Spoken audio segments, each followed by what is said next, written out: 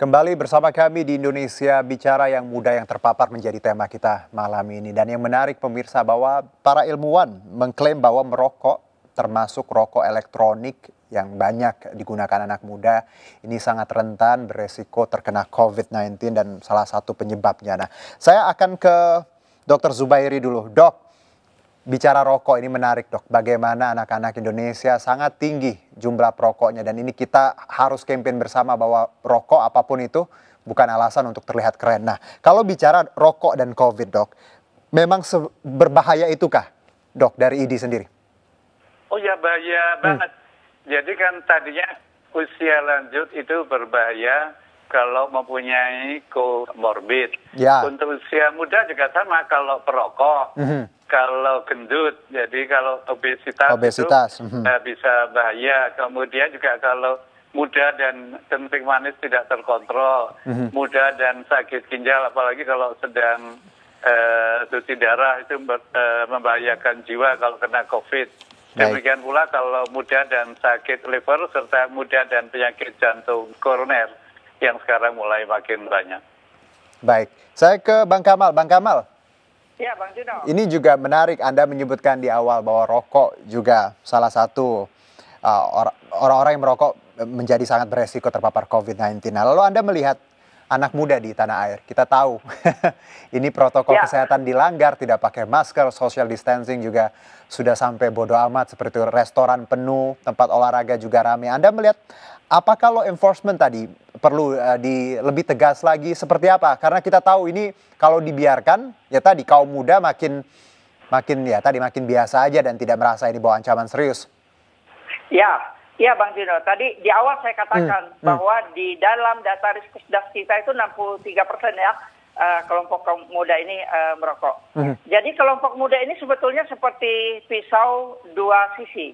Di sisi yang lain dia menjadi kekuatan buat kita karena ini adalah kelompok produktif kalau yeah. misalnya menghasilkan sukses dan seterusnya ini akan menjadi kekuatan yang luar biasa untuk negara. Mm-hmm. Nah kaitannya dalam kesehatan demikian pula dalam kesehatan ini pemerintah tidak bisa berjalan sendiri.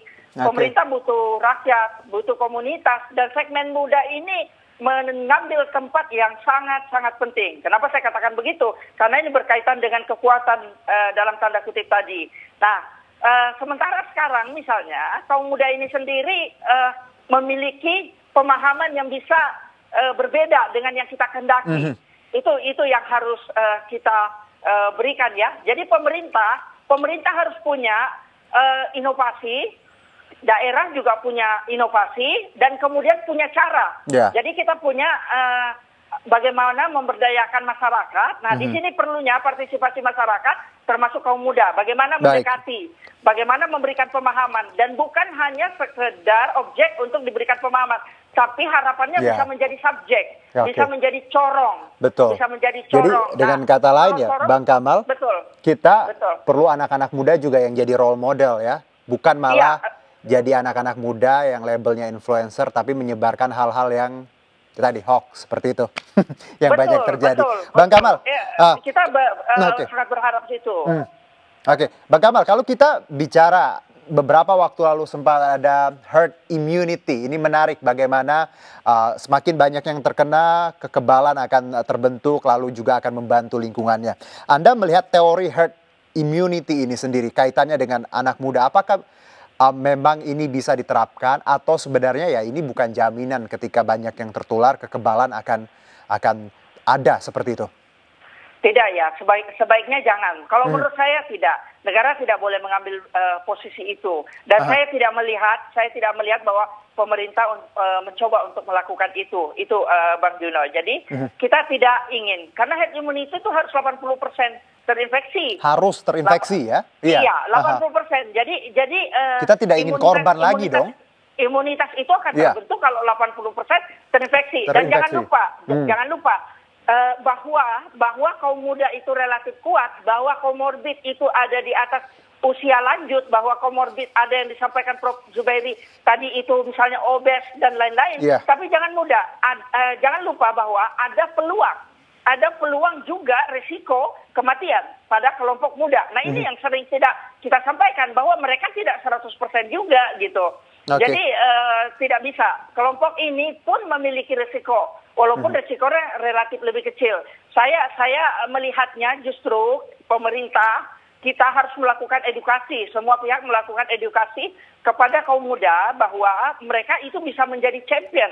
Champion di sini adalah memberikan sesuatu kepada masyarakat yeah, gitu. Yeah. Lewat lewat lewat komunitas loh ya. Mm-hmm. Kaum muda itu uh, sangat inovatif, atraktif, baik baik uh, sehari-hari maupun dalam media sosial. Mereka sangat uh, menguasai uh, YouTube, kemudian media yeah. sosial yang lain, Betul. itu pesan-pesan itu bisa cepat dan masif daripada hmm. kita menggunakan metode konvensional. Nah, Baik. pemerintah menurut hemat saya harus jeli melihat ini dan hmm. Teori ini bisa dipakai menurut saya dan akan lebih efektif. Kita okay. tidak bisa menunggu pandemi dengan hanya cara-cara konvensional. Baik. Harus ada terobosan yang yang memberdayakan di luar. iya, kaum muda Betul. karena kita tahu anak-anak muda sangat dekat dengan eh, digital semuanya. Jadi Betul. mereka harusnya punya setiap orang, setiap anak muda punya tanggung jawab terhadap komunitas dan sosialnya ya.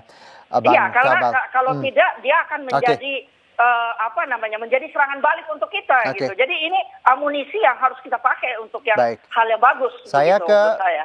Dokter Zubairi, dok, kalau bicara konsep um, herd immunity ini, uh, immunity ini, dok, apakah anda melihat bahwa konsep ini sebenarnya uh, tidak bisa diterapkan ketika banyak yang tertular memang akan membentuk kekebalan. Tapi tadi kita tidak bisa mengorbankan banyak yang tertular karena pasti akan ada angka korban seperti itu. Iya, itu sebetulnya hmm. hanya teori saja. Teori saja. Tidak ada yang menerapkan, namun hmm. kemudian Swedia mencoba menerapkan. Hmm. Apa hasilnya? Swedia yang penduduknya hanya sedikit, saat ini sudah 80 ribu lebih yang terinfeksi, uh-huh. yang meninggal lebih banyak dari Indonesia. Jadi uh, herd immunity ternyata hmm. tidak benar untuk diterapkan. Jadi ada juga contoh yang terbukti keliru. Okay. Namun ada uh, hari ini kebetulan ada apa istilahnya ada kabar buruk lagi. Hari ini Indonesia tambahnya 2.473. Iya dok banyak amat ya. Jadi kita harus makin hati-hati. Jadi hmm. sama sekali Indonesia belum fase menurun, bukan juga menetap, tapi masih on the rise, masih terus naik terus jumlah kasusnya. Oke, okay.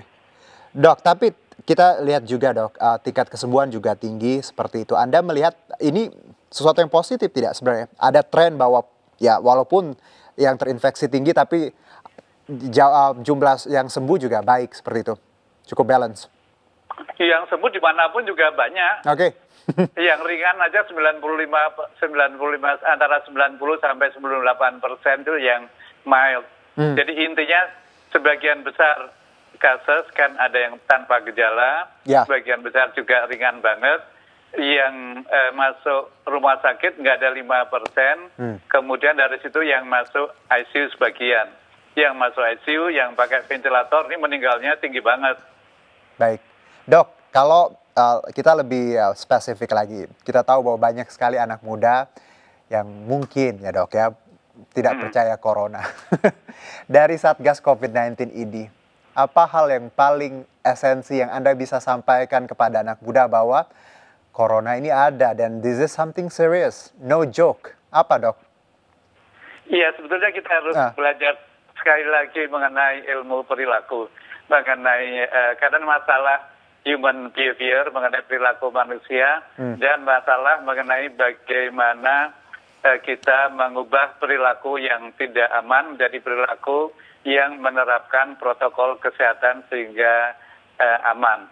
Dan perubahan perilaku itu ada beberapa tahapan, mulai dari tahu, kemudian paham, kemudian mengubah ke perilaku yang lebih baik, selalu pakai masker, sering cuci tangan, dan tetap begitu. Nah, ini sering kali tidak bisa masuk ke kepala beberapa segmen masyarakat termasuk yang remaja yang muda kalau yang menyampaikan uh, berbeda usia lanjut yang okay. ngomong yang ngomong dokter yang ngomong teman wartawan tapi jadi artinya harus yang ngomong peersnya jadi yeah. pendidikan peers group ini menjadi penting karena nah. itu kita amat memerlukan remaja kita memerlukan beberapa influencer kita hmm. memerlukan tokoh agama, tokoh ya. masyarakat untuk masing-masing menyuluh ke uh, peersnya, ke masyarakat yang sesuai dengan dan yang amat uh, menyenangi mereka. Oke, melengkapi tadi yang uh, dokter sebutkan bahwa ini angka terbaru ya, penambahan untuk hari ini ada 2.473 ini data yang baru kami dapat yang masuk dan juga Jakarta masih tertinggi di 600 sekian. Nah, saya ya. ke Bang Kamal. Bang Kamal, sama nih Bang pertanyaannya. Ya. Banyak ya. anak muda yang ngeyel, toko-toko publik influencer yang berlabel ya tadi influencer, we don't know yeah. actually what are Betul. they doing sebenarnya. Uh, tapi mereka tidak percaya dan punya campaign masing-masing terkait corona. Concern Anda gimana nih kalau untuk mereka? Apa yang bisa Anda sampaikan untuk mereka percaya bahwa corona itu ada? Uh, saya ingin mengatakan begini, uh. situasi pandemi ini mengubah banyak hal dan membuka uh, apa yang kita lakukan selama ini. Okay. Jadi uh, kita selama ini terlalu berkutat kepada untuk dunia kesehatan ya. Uh, pengobatan kemudian terapi rehabilitatif. Kita lupa bahwa perilaku ini masuk ke, da- ke dalam preventif dan uh, promotif. Yeah. jadi bagi, upaya ini sebetulnya harus kita mulai dari dulu. Seperti tadi bagaimana kaum muda ini bisa mempengaruhi lebih uh, lebih cepat karena menguasai gadget informasi uh-huh. bagaimana mobilitasnya kemudian bisa digunakan Nah, itu itu sesuatu yang uh, menurut saya uh, bisa dipakai oleh kaum muda. Nah, kita harus menggunakan tangan mereka. Dan dan sebetulnya pemerintah mengambil peran dengan cara melakukan approach kepada kelompok-kelompok itu. Yeah. Approach kelompok. Jadi edukasi, uh, promosi yang tadi memang kita lupakan dulu, sekarang harus kita mulai kita perbaiki. Dan menurut saya tidak cukup, misalnya kita berkata bahwa, hmm. oh ya ada tokoh agama, ada tokoh masyarakat, okay. ada kelompok muda yang bisa menjadi champion. Tapi ini harus dilakukan terorganisir, Bang Juno. Hmm. Terorganisir, harus masif dan terstruktur, di mana negara hadir di situ ada konsep, ada rencana yang matang, sistematis, bagaimana kita melakukan mapping. Misalnya Jawa Tengah itu kalau tidak salah ada Jogotongo. Ya. Kemudian di situ ada komunitas kaum muda yang bisa dipakai, ada ada komunitas Gowes, ada kicau mania, ada banyak cara. Kan, hmm. kan ada struktur informal organisasi. Nah itu bisa kita lakukan. Jadi saya melihat bahwa kita harus melakukan inovasi, inovasi untuk menyelesaikan uh, persoalan pandemi. Tidak bisa menggunakan lagi-lagi saya katakan kita tidak bisa menggunakan hmm. pendekatan yang biasa-biasa saja. Gitu. Baik. Kita harus melihat Baik. dan menyampaikan -hmm. itu masif kepada mereka yang memberikan pesan menjadi corong yeah. edukasi sehingga nantinya okay. misalnya mereka yang kemarin -hmm. uh, menyampaikan pesan itu pesan Baik, salah itu bisa membantu kita. Begitu Bang Juno. Luar itu biasa Bang Kamal, penjabaran dan insight. Ya, terima kasih Bang Kamal atas ya, waktunya sama -sama dan juga Dokter Zubairi, terima kasih atas waktunya. Tetap sehat, tetap aktif, kita sama-sama berkontribusi untuk bangsa dan negara.